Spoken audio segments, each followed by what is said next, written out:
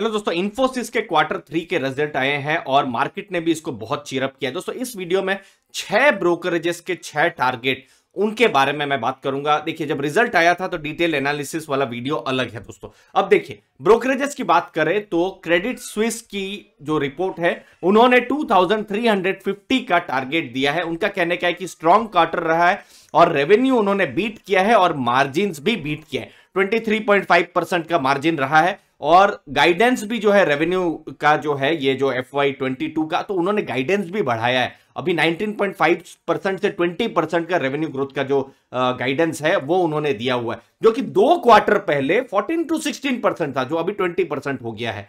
दूसरी चीज़, उन्होंने अपने ईपीएस के भी एस्टिमेट्स बढ़ाए हुए हैं। इन सभी जो ब्रोकरेजेस के आप जैसे जैसे टारगेट सुनेंगे, कुछ चीज़ें कॉमन रहेंगी, उनको ज़रूर आप नोट करिएगा और दोस्तों, ज़रूर कमेंट भी करिएगा। अब देखिए मॉर्गन स्टैंडली उन्होंने 2110 से टारगेट को बढ़ाकर 2250 का कर दिया है। उन्होंने भी देखिए अर्निंग पर शेयर को एस्टिमेट जो है रिवाइज किया है थ्री परसेंट से।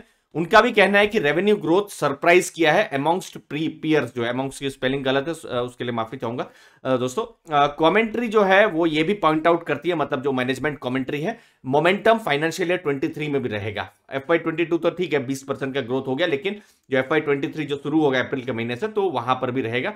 मार्जिन प्रेशर जो है थोड़ा सा उनको लग रहा है कि ईज हो रहा है।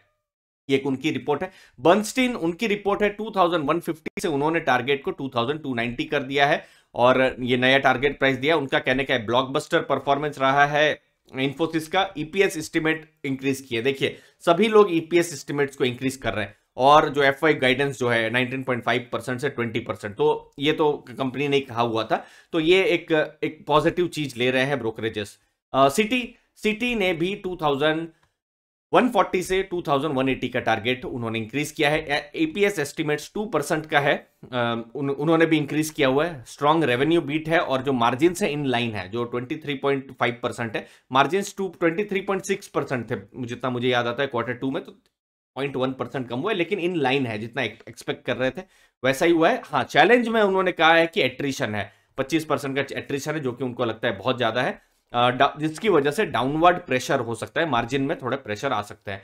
अगला नाम है गोल्डमैन का। गोल्डमैन ने 2415 का टारगेट दिया है। उनका कहने का है रेवेन्यू ग्रोथ जो है फोरकास्ट उन्होंने इंक्रीज किया है। उन्होंने भी देखिए ईपीएस इंक्रीज किया अर्निंग पर शेयर के जो उनके टारगेट्स हैं तो वो उनके इंक्रीज किए हैं और डिमांड इन्वायरमेंट जो है कैलेंडर ईयर 2022 जो अभी चल रहा है जनवरी 2022 तो पूरा जो, पूरा साल है, उसके लिए भी उनको लगता है कि एक स्ट्रॉन्ग डिमांड इन्वायरमेंट रहेगा। अगला नाम यूबीएस यूबीएस न्यूट्रल है। तो पाँच चीज़ें पॉजिटिव थी, एक न्यूट्रल उनका कहने का है कि स्ट्रॉन्गर जो गाइड है, उन्होंने उन्होंने गाइडेंस दिया हुआ है।